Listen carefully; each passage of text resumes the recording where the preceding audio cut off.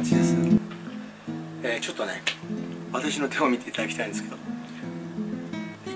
えー、このようにね、えー、マニキュアを塗っております。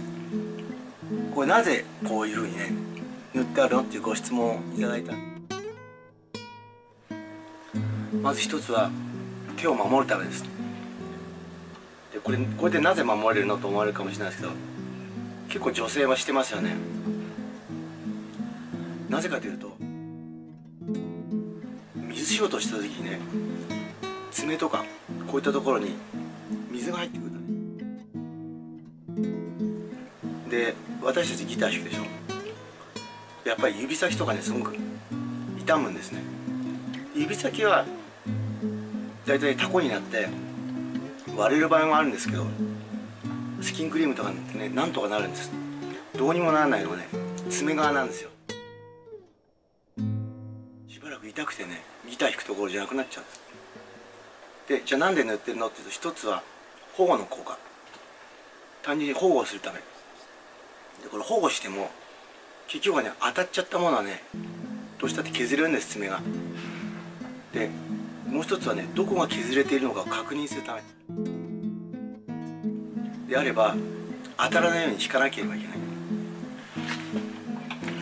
特に最近ねあの今までやらないようにしてきたんですがエレキギターをピックを使わないでね手でこういうふうに弾くことが多いんですよ。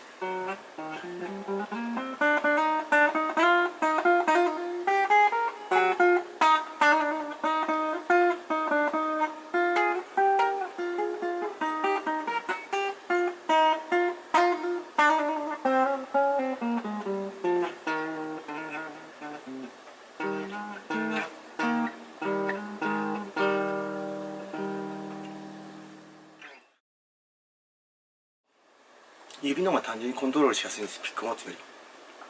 どうしてもねピックを持つとピックの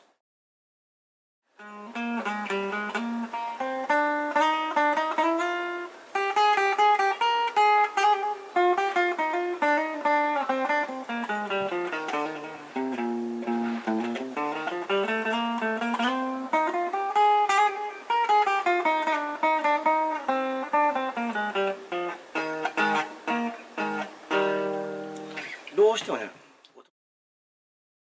圧倒的に指で弾いた方が柔らかい音が出るんです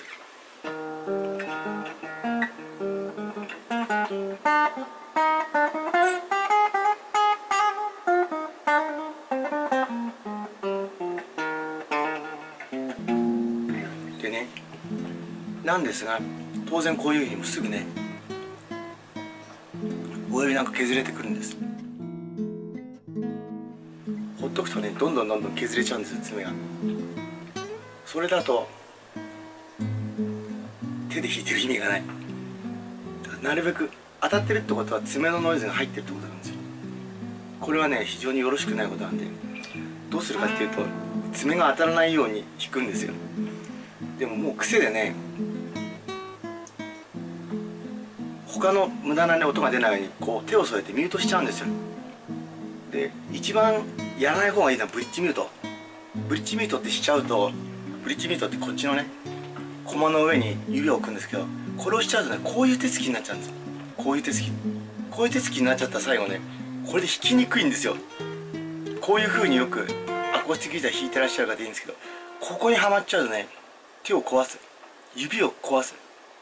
絶対に無理な体勢だから。できる限りねやっぱりセゴビアスタイル。これが長時間弾いてで最も疲れない。もしくは疲れた時に音が乱れにくい。あとは一番大事なのはね見てるお客さんの不快にならない。これ一番重要です